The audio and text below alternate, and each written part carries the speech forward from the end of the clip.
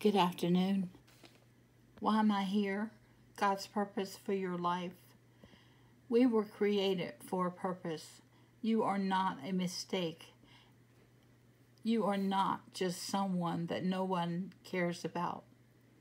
No, in the eyes of God, you are special and He has a great plan for you. The Bible says that His thoughts for you are thoughts of good and not to evil, to give you an expected end. Another version says to give you a future and a hope. God is deliberate about you. People may mock you or laugh at you, but you must know one thing, which is that God has called you into his marvelous light. This must reflect in how you carry yourself and how you speak to others. If you want to know the reason why God created you, then this is for you. God did not create a robot. A robot is a machine that is pre programmed to act in a certain way. However, God created humans with a will, a choice. This was about what Adam abused in the beginning when he disobeyed God. The reason why God did this was because he wants you to love him genuinely from our hearts. God is our Father. He is not a wicked dictator. He is not someone who treats us according to how we treat him. The Bible says that while we were yet sinners, Christ died for the ungodly and gave us the free will of salvation. We did not do anything to gain his love, and we can do nothing to keep his love. God's love is deeper than anything that you could possibly imagine. How much do you think God loves you? How He loves you is so much greater than you think. Sometimes we let our own view about God to blind us from who He actually is. This is because we have not taken time with His Word. His Word is life and His Word brings direction to us. There's a reason for everything on earth. There is a saying that goes, when the purpose of a thing is not known, abuse is inevitable. This is not far from the truth. The primary reason why a manufacturer produced a chair is for sitting. If by any chance the chair is only used for decoration, it defeats the purpose of why it was made. Decoration will be secondary, but the primary reason is for sitting. Same way, there is a primary reason why God created you. That is what you are about to find out.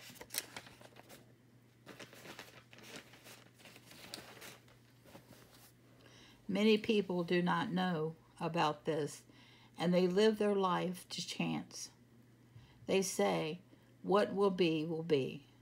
Whenever they are not living according to what God has called them to do, sometimes their life carelessly, without even thinking that they will one day answer to God. The fact that God gave us a free will doesn't mean that we are meant to be independent of ourselves. We are dependent on God because He knows the reason He created us. The plant can't be separated from the soil or else it will die. The same way, man cannot be separate from God because God is our life and God is our source. These are not just mere words, but they are reality. A plant that is uprooted from the soil will fade away because it gets nutrients from the soil. Your roots are meant to be in God's Word. This is how you prosper. The Bible says in Joshua 1 8 that this book of the law shall not depart out of the mouth. They shall meditate on it day and night to do all that is written therein. Then shall you make your way prosperous and have good success.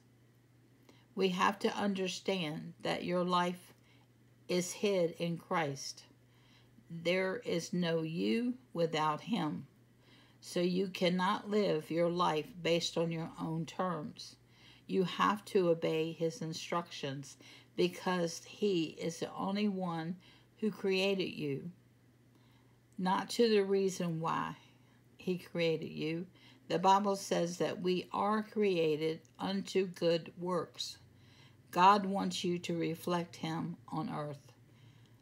Is that too much for you to think about? What does it mean? God wants you to represent Him on the earth today. You are His child, and you carry His nature. What is God's nature? The Bible says that God is love. He is the true definition of love. In 1 Corinthians chapter 13 you will see various characteristics of his kind of love. Love is patient, love is kind, love does not envy, love does not boast, love does not bear record of wrong. It bears all things, believes all things, hopes all things. You must understand God's nature before you will be able to represent Him on earth. The Bible calls you God's workmanship. You are his ambassador. This is because the moment you said yes to the gospel, you were no longer in darkness. You were now translated into God's kingdom. You are created in the image of God. The Spirit of God dwells in you so you have the ability to do all He has called you to do because you are not alone. He goes before and behind you, just like He did to Abraham and the saints of old. Abraham was called by God to go out to his father's house, to a place that God will show him. The truth was, he did not know where he was heading towards. All he knew was that he was obeying God's voice. Maybe there were times when he felt like going back.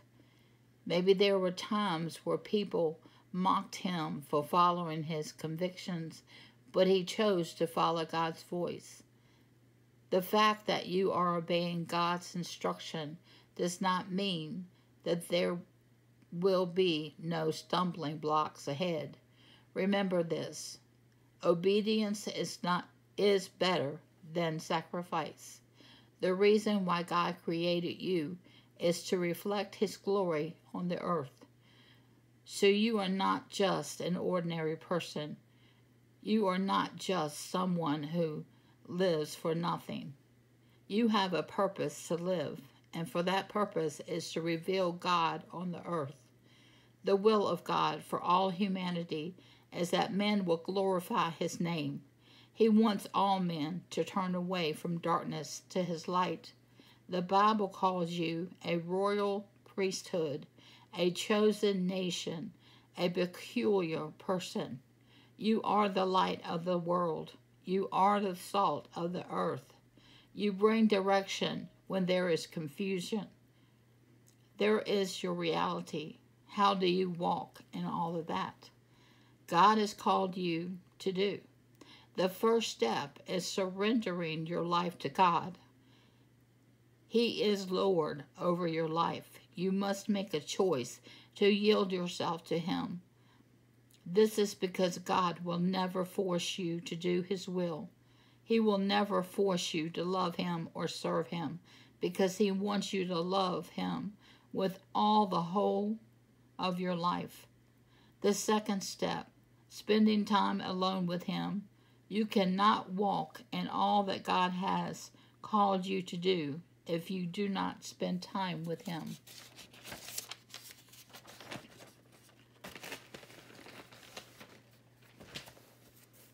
This is how you will come to know and understand what He wants you to do. When you spend time in His presence, you receive clarity on what area that He would want you to focus on. You spend time alone with God in prayer. Prayer, as they say, is communication with the Father. This is communication with Him. It is how God tells you what He wants you to do. Prayer is just not about the bad times. The Bible instructs us to pray without ceasing. This means that in every decision that you make, prayer should be the first on your list. The fact that it is God does not necessarily mean that it is God. I'm sorry, the fact that it is good does not necessarily mean that it is God. You can always spend time with God in the place of the Word. Jesus said that the words that He speaks are spirit and they are life. So you must recognize that God's Word has the ability to change a man. Number three, trust God. Be rest assured that God has a plan for you. His thoughts towards you are thoughts of good. You may not be able to fully understand all that He has said or called to you, but that's when you would need to trust the process. I'm sorry, I can't talk. To trust the process. You will also do well to calm down especially when you do not get the results that you wanted or expected. The Bible says that all things work together for the good of them that love God, to those that are called according to his purpose. You are called according to his purpose. Therefore, you need not be troubled, because God is with you at all the way in the good times and in the seemingly bad times. He will stand by you and He will give you the wisdom for this journey. Amen.